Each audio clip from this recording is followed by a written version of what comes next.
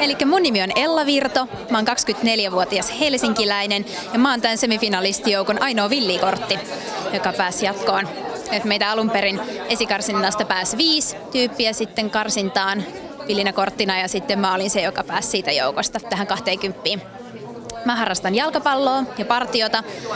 Jalkapalloa mä oon pelannut 16 vuotta, partiossa mä oon ollut 17 vuotta ja näistä nyt 10 vuotta mä oon ollut johtaja- ja valmennustehtävissä tällä hetkellä.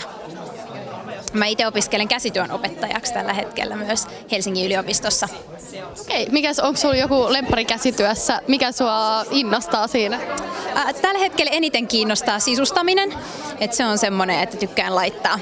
Ja tietysti sisustamisen lisäksi mä tykkään stylata. Et mä oon laittanut kaikki mun kaveripiirin ja poikaystävän ja nää ihan uuteen kuosiin, niiden tyylit. Tosi kiva. Tykkääkö sun poikaystävä siitä, kun sä stylaat senkin?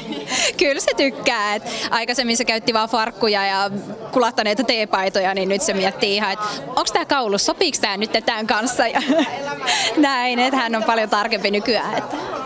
Tosi kiva. Onko sul, tuleeko sulle mitään muuta mieleen, mitä sä voisit kertoa itsestäsi vielä? Uh, jaa, mitäs mulla tulisi mieleen? No ainakin mä hain tähän kisaan sen perusteella, että mä olin viime kesänä tuossa Miss Helsinki-kilpailussa. Mä pääsin puoleen väliin sitä kilpailua eli karsintaan, niin sit sieltä sai semmoista kunnon boostia lähteä sitten eteenpäin. Mä aloitin kunnon kuntokuurin. Mulla on lähtenyt 10 senttiä vyötäröltä ja lantiolta tässä viime marraskuusta. Että tota, edelleen ollaan vielä, vielä matkaa semmoinen puolitoista kiloa siihen ihanne tota, tyyliin ja kokonaisuuteen, niin se, se on semmoinen, että haluan näyttää hyvää esimerkkiä siitä, että arkiliikunnalla terveillä elämäntavoilla pääsee pitkälle ja tämmöinen pystymetsästä tuleva tyttökin, maanläheinen, niin voi päästä pitkälle ja menestyy, kunhan vaan uskoo siihen omaan tekemiseen.